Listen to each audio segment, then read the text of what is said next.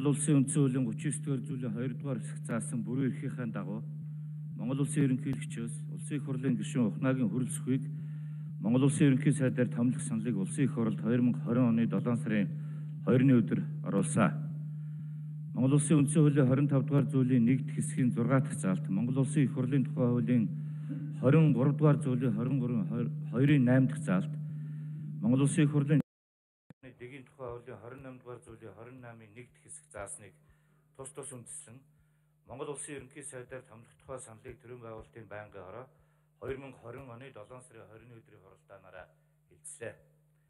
Ухнагийн хөрс 1968 оны 6 сарын 14-ний өдөр Улаанбаатар хотын Сүхбаатар дүрэгтүүлсэн 52 настай 1985 онд нийслэлийн 10 жилийн 2 дугаар дунд сургууль 1989 онд Батланбаалгын их сургуулийг улс төр судлаач мэрэгчлэр 1994 онд Төрийн захиргаа удирдлагын хөгжлийн институтыг төрийн удирдлагын арга зүйч мэрэгчлэр 2000 онд Монгол Улсын их сургуулийн хууль зүйн дээд сургуулийг эрх зүйч мэрэгчлэр тус тус төгссөн.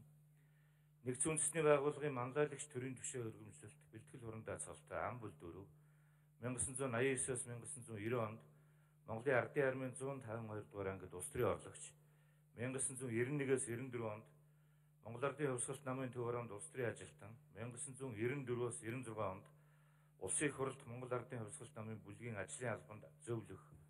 1996-аас 97 онд Монгол Ардын хувьсгалт намын залуучууд хөгжил төвийн ерөнхий захирал.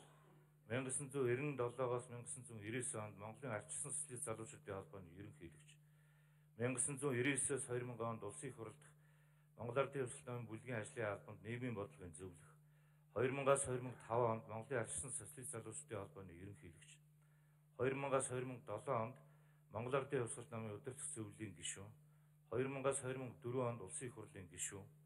2000-аас 2004-өөс 2008 онд улсын их хурлын гишүүн. 2004-өөс 2006 онд засгийн газрын гишүүн онцгой байдлын асуудал эрхэлсэн Монгол улсын сайд. 2006-аас 2008 онд засгийн газрын гишүүн.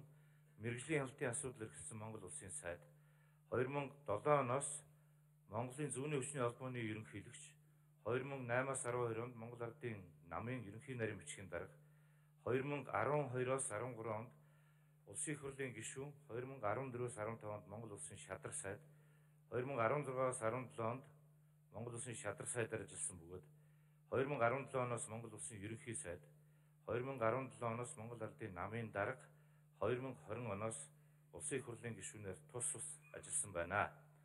Монгол улсын ерөнхийлөгчөөс ирүүлсэн ерөнхий сайдыг томилох тухай саналтай холбогдуулж болон нэр дэвшүүлэгчээс Банга хорооны хуралдаанд оролцсон гишүүдээс асуулт асуугаагүй мөн санал гараагүй болно. Банга хорооны хуралдаанд оролцсон гишүүдийн олонх Ухнагийн хөрөлсөхийг Монгол улсын ерөнхий сайдаар томлох саналыг дэмжсэн болно. Улсын хурлын эрхэм гишүүдээ Монгол улсын ерөнхий сайдыг томлох тухай саналыг хилцсэн талаарх төрийн байгуулалтын банга хорооны санал дүгнэлтийг хилцсэн шийдвэрлэжихийг та бүхнээс хүсье анхаарал тавьсан баярлалаа.